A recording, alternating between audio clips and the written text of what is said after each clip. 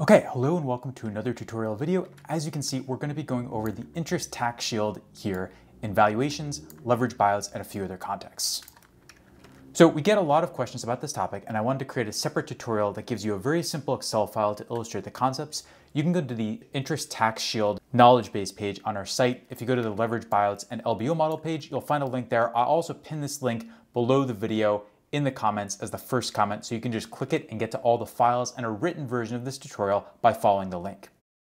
We get a lot of questions about this concept, so I'm going to give you the three minute version first, and then we'll go into more detail and I'll show you how to implement some variations of this within Excel. So the interest tax shield refers to the tax deduction a company gets by issuing debt and then paying interest expense on the debt, and it's roughly equal to the interest expense times the company's tax rate.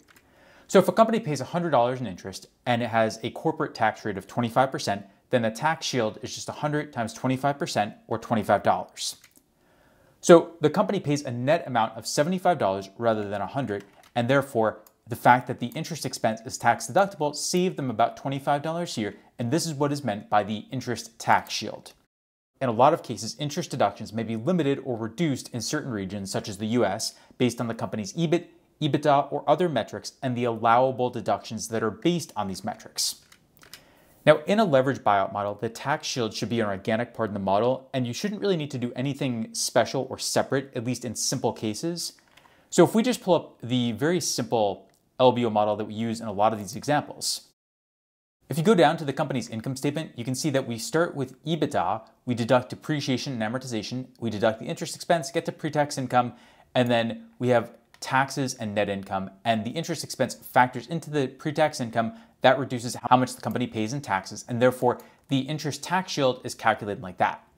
Now, in this example, it's a little bit more complicated because we actually limit how much interest they can deduct, and that is something that you will see in models, but the basic concept really is not too complicated. You just make sure that you deduct the interest expense before you calculate the amount of taxes the company pays. Now, in evaluation, you reflect the interest tax shield in the weighted average cost of capital or WACC calculation because you multiply the cost of debt by 1 minus the tax rate to reflect the fact that the interest expense, at least in part, is deductible for tax purposes. So the whole WACC formula is listed here. You take the cost of each of the components of the company's capital structure and multiply by the percentage it represents. And for the cost of debt, you always multiply by 1 minus the tax rate because of the fact that the interest paid on debt is tax deductible. So I have an example in this very simple Excel file, one of the ones that we use to illustrate the concepts of equity value and enterprise value. Over here on the side, when we calculate the weighted average cost of capital, notice how I am taking the after-tax cost of debt for this very reason. For the cost of equity, I'm just taking the number as is. One tricky part about this evaluation is that the unlevered free cash flow, that is the most common metric that you use in a DCF, should not reflect the interest tax shield because unlevered free cash flow does not change based on the capital structure.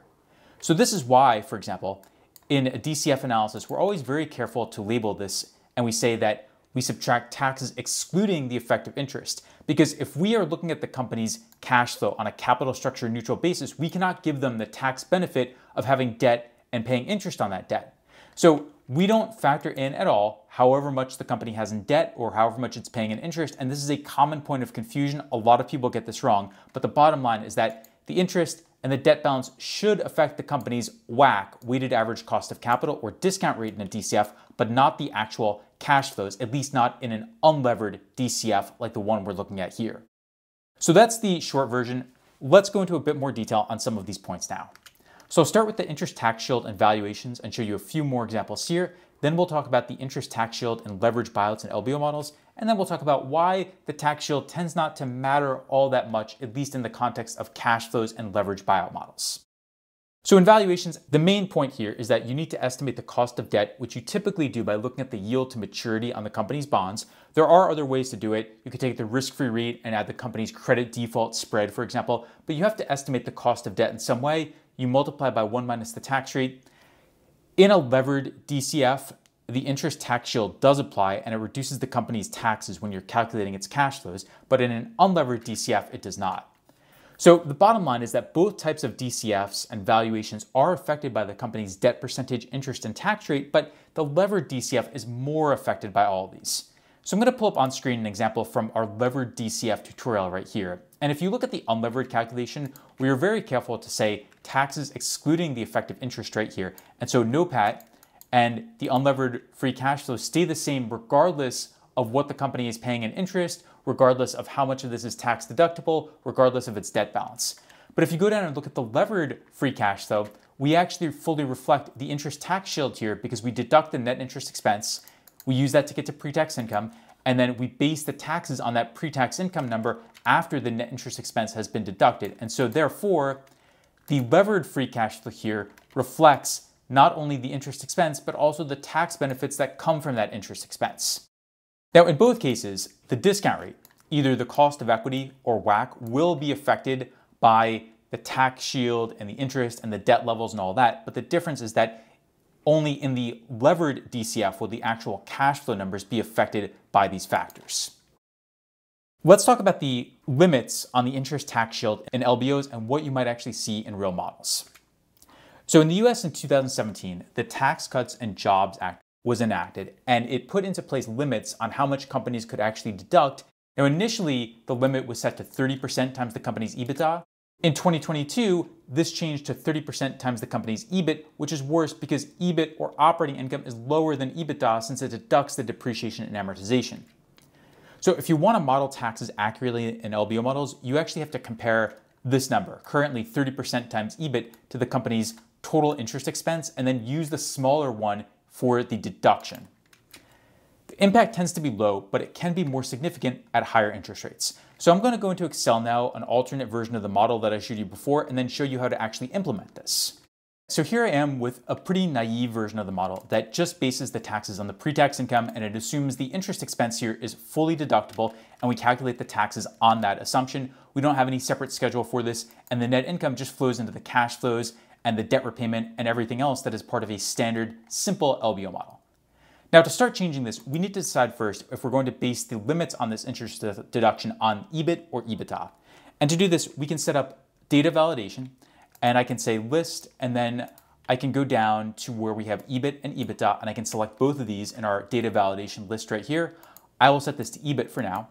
And then I'll say 30% so we can keep it consistent with current US law on this matter. I'm going to go down here and delete the tax line on the income statement because we're going to recalculate taxes based on the limited interest deduction that we're now assuming.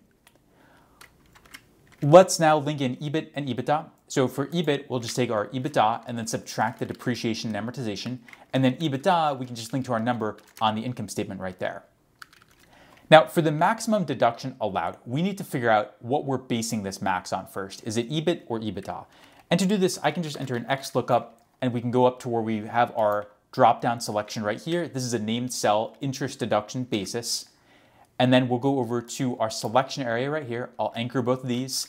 And then we want the return array to be the EBIT and EBITDA in the particular year that we're in. I'll say NA if it's not found. And I'll say zero for exact match. We'll take this number, whether it's EBIT or EBITDA, and multiply by the 30% right here, which is another named cell. And so we have that. Now we need to compare this to the company's actual interest expense. So we'll get this from the income statement. We're assuming that this company is paying a 10% interest rate on 500 of debt initially, so the year one interest expense will be 50 in this case. Now the allowed deduction will be the minimum of these because if we're capping it and saying that the max deduction allowed is 30% of EBIT, we're going to take the minimum between that number, the 24 and then the 50 that the company actually has in interest. So we have that. And then for the adjusted taxable income, so here we want to take EBITDA, we want to deduct the whole amount of depreciation and amortization because that's always deductible. And then we will deduct the actual allowed deduction right here, the 24. For the taxes paid, we'll take this adjusted taxable income and then multiply by the 25% tax rate, and we have that. And then one other thing we could do is just look at how this is different compared to the version where we did not impose this limitation on the interest deductions. So we'll take the taxes paid right here, and then we'll go up to the pre-tax income on the income statement, and then multiply by the tax rate of 25% up at the top. And so we can see that in this version, as a direct result of this in year one, we pay about twice as much in taxes because of the fact that we cannot fully deduct 100% of the interest expense in this case. I will now copy all of these across And then I'll link to our taxes on the income statement. I'll use a negative sign for this and link down to our taxes paid right there. And so we have that. You might be wondering what type of impact this has. And to answer that question, I've created some sensitivity tables down here. The bottom line is that if you look at the five-year IRR and you vary the maximum interest deduction from 0% to 100%, the IRR barely changes. It's about 2% different, maybe 1% to 2% different, you could say, going from 21% to 23%. And even if you look at it on an EBITDA basis, it's still not really that different. It goes from 21% to 22.8% again.